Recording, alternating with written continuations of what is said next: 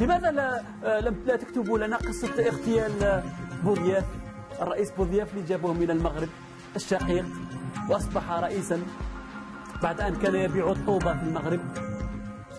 سحتوه في 62 جابوه في لي زاني 90 وقتلوه. آه، بوذياف لودغ آه، من من جحرين مرتين. خالتي؟ جابوه parce que آه، كانوا كان لازم لهم شخصية تاريخية.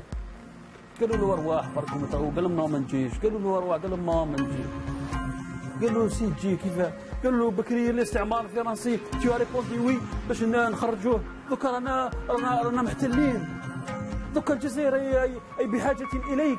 أي الجزائر بحاجة إلى الأبطال مثلك. بريباراوه لمده شهر. نفخوه نفخوه نفخوه نفخوه حتى قال لهم oui. جابوه في الطيارة عطاوه دقلة واللبن ولا رايس ولا يلبس الكوستيمات تاع Francesco Smalto آه سي محمد. وهارون هذاك آه، المحامي آه، الحكيم. قالوا قالوا قال لهم on est prêt on est prêt à mettre 3 millions de personnes dans les camps de concentration du sud si 3 millions de personnes بين قوسين. جزائريين ولا مش جزائريين؟ ومن بعد جاء هذا آه، خرج دار لهم دار لهم دار لهم البورقه خاوتي. إيه جاو يدروها قالوا له تي ريح لنا بوطيش وحنا نصوروك و le président. يدروها يريح هكذا. كيف شريتها أها. فتح ملفات تاع الفساد. ولا يحاسب فيهم واحد واحد. ولا يقول للقنوات الفرنسية خافوا من القنوات الفرنسية. ولا يقول لهم باللي moi je pars en guerre contre la corruption قال لهم أنا أعلن حربا على ملفات الفساد والمفسدين في الجزائر. والقطرة التي أفاضت الكأس زوج ابنه زوج ابنه في المغرب خاوتي العائلة كل عايشة في المغرب. إبا قال لهم روح المغرب نحضر العرس تاع ابني إبا سكرتوريتي توريتي عيطوا له قالوا له ما تروحش. قالوا دوكا كبريزيدان ما تروحش تنرفا قالوا ما تدخلوليش في شؤوني الخاصة.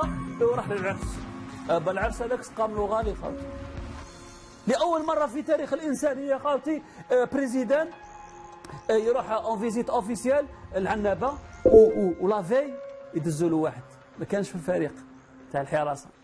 بومعرفي بومعرفي هذا خاوتي كانوا مبريبارين des mois et des mois l'avance واحد الجنيرال قال لهم لازم تلقاو لي واحد يحب الجزائر ويموت على الجزائر.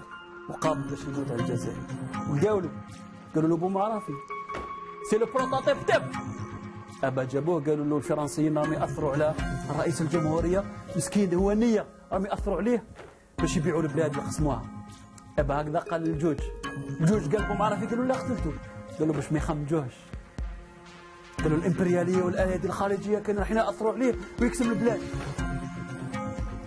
هكذا قتل بوضياف من وراء ستار ربي يرحمه. الجزائر تسير من وراء ستار. خوتي لماذا لا تكتبون لنا هذا التاريخ؟ حتى وإن كان مرا لازم تكتبوا لنا وتكتبوا لأولادنا. حتى وأخطأتم وأخطأنا لازم أكون نكتبوا تاريخنا. لماذا؟ لأن الجزائر بحاجة إلى تاريخ حقيقي وصحيح.